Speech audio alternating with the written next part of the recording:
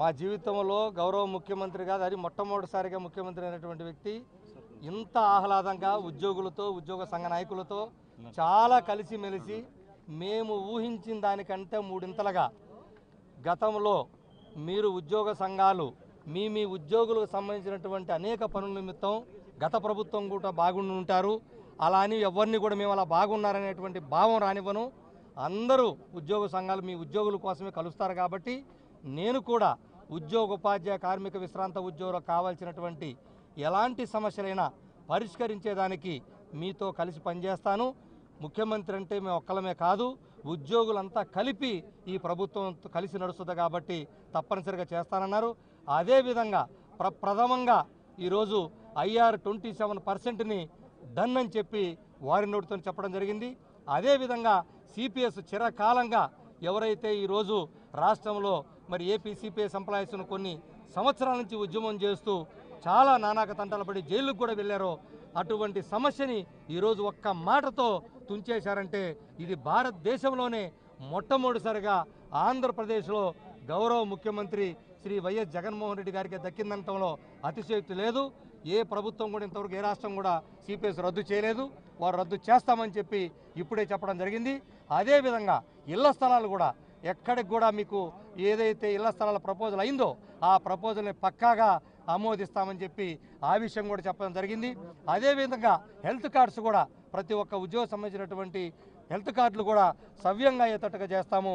సెక్రటరీలు అందరితో కూడా ఉద్యోగులకు సంబంధించిన సమస్యలన్నీ కూడా చర్చించానని చెప్పారు. మాకు చాలా ఆనందంగా ఉంది.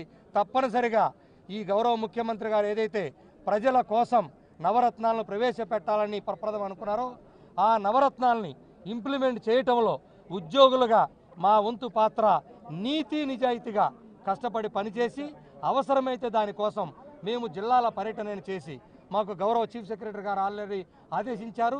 వారి ఆదేశాల ప్రకారం జిల్లాలు తిరిగైనా సరే మేము ప్రతి ఒక్కరిని ఉద్యోగుల్ని నీతి నిజాయితీగా పనిచేయాలి ప్రజలకి చేరువ చేయాలి నవరత్నాలని చెప్తాం అదేవిధంగా వారు ప్రత్యేక హోదా కోసం ఎలాంటి కార్యాచరణ ప్రకటించినా ఆ కార్యాచరణకి గతంలో మరి ఉద్యమం చేసినటువంటి నేతలుగా మేమందరం వారి వెంట నడిచేదానికి సిద్ధంగా ఉన్నామని మరొకసారి మాజీ నాయకులు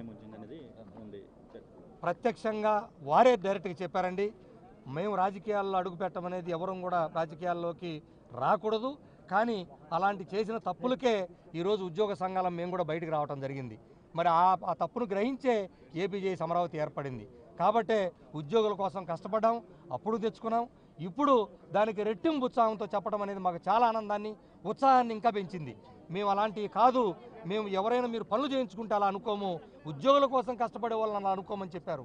కాబట్టి ఉద్యోగుల కోసమే వాళ్ళ శ్రేయస్సు కోసం మేము ఉన్నాం కాబట్టి తప్పనిసరిగా వారికి ఇంతకు పోయినసారి కన్నా రెట్టింపు ఉత్సాహంతో పనిచేసి డెఫినెట్గా వారికి ప్రజలకు ఏదైతే మంచి రావాలో ప్రభుత్వం పట్ల ఆ మంచి ఎంత కావాలంటే అంత మేము కష్టపడి కృషి చేస్తామని తెలియజేస్తున్నాం. Please subscribe to mirror TV thank you Please subscribe to Mirror TV. Hi. Please subscribe to Mirror TV.